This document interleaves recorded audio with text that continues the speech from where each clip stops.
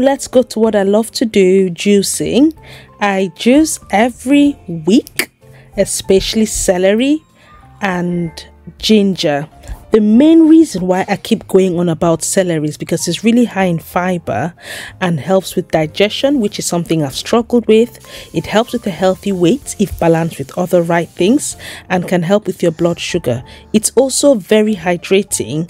And the main thing, the reason why I'm doing this lately is because Celery contains phytonutrients which reduces inflammation in both the digestive tracts, cells and organs and it's also antibacterial antifungal and antimicrobial. So with this, it'll help you to regrow your cells and protect against nerve damage. If you're not aware, in fact, I'll talk about this another time. I have been going through a bit of a difficult time at home with health challenges and oh my god, there's a lot going on, but in due course I'll share. So this is just what I was doing this day and I also had some beetroots because it helps to give you iron, it helps with strength, and there's other benefits like again your gut health. And I find that once you are struggling with inflammation or other health challenges, beetroot is your friend, um, and especially for blood and iron. So, yes, and I can start my, my day now. Hello, guys, welcome to another vlog. I come today, I've just woken up, I'm still in bed. In fact, I have not left bed yet.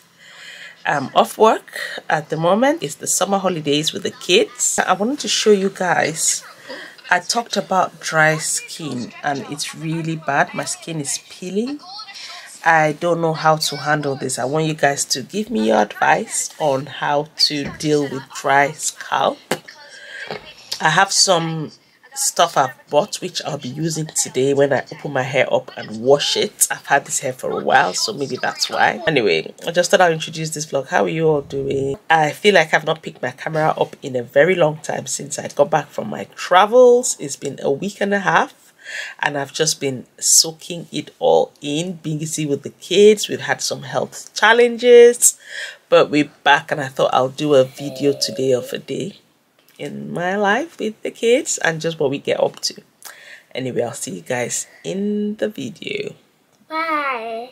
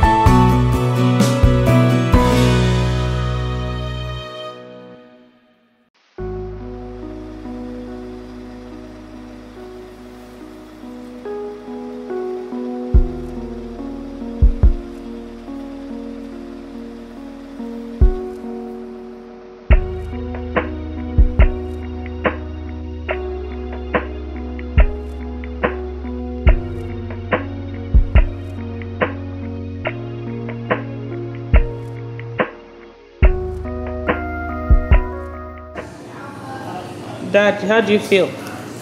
Much better. You're not going to start seeing better yet, right? Soon. Well, I mean, it doesn't even seem as if I did anything. okay. That's, that's how smooth it was. Yes, okay. Dad has just had his eye surgery and it's the second eye. Um, yeah, we'll keep you guys updated on the healing process and how long it takes. I got this magnetic um, phone mount. It's really good. Like most of us, we spend a lot of time driving and a lot of time on our phones, either like either like a sat nav. I actually have a sat nav on my car, but I feel like my phone sometimes the settings are better so I got this and I don't regret it right what you got inside you've got different valves but with this I chose to use the magnetic bits which is that. And the other piece goes into my the back of my phone. Really really simple mechanism bits there. And that is how I just magnet my phone. So I can leave my camera there. I can put it higher up like that. Any phone will fit.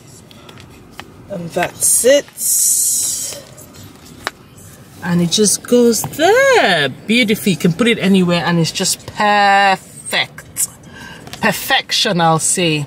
If you're looking for a phone mount I really love this. Uh, I just thought I mention to you guys. I don't think let me show you the other. It's got this other vent which is for mine is a Mercedes but they have different ones but this is this can be used like this hook there is for the vent of the car and I find that that having the right um oh, what is it phone holder is important so this goes to your air vent okay you get it? I'll put a link to this.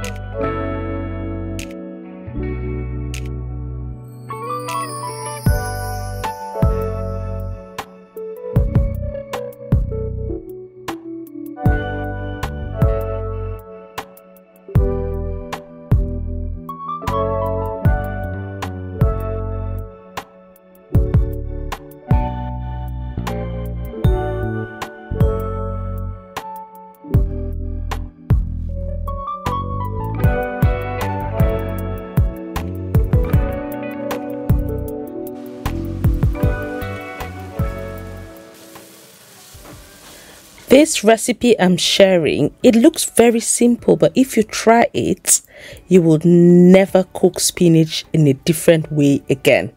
It not only guarantees that you retain most of your nutrients, but it is so tasty and it's so easy to put together.